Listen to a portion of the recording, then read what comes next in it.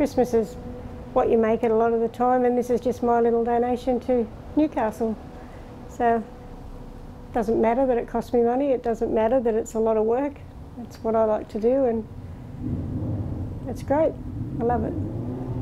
takes about 10 hours now to decorate it, and um, that, that's about five drivers. You know, I have a stream of volunteers that come in and they might stay for an hour, they might stay for five, but between us it takes us about 10 full hours to get it on the road.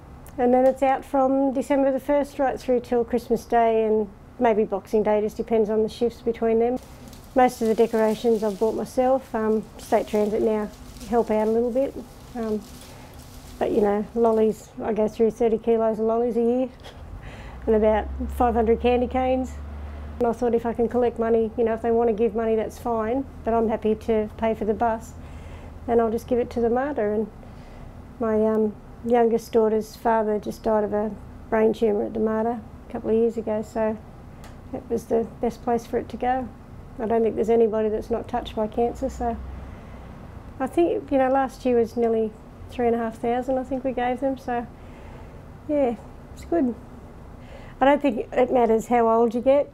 Something like this just takes you back to when you're five years old again, you know. So, and it's funny because the little old ladies will get on and they'll say, "Oh, the kids must love this," and the kids get on and watch the faces of the little old ladies when they get on. So, I've got my own website now, thechristmasbus.com.au.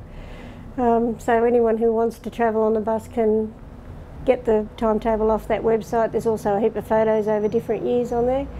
Um, and news clippings and things, they're all on there. What I do find and what's really nice is normal times you've you drive a bus and people get on, they sit down, they're in their own little world, they're on their phones, they're reading a book, they're doing whatever. Never talk to anybody, but the minute you get on a Christmas bus, they all get on and it's like they're all old friends. They all talk amongst themselves and it's just great.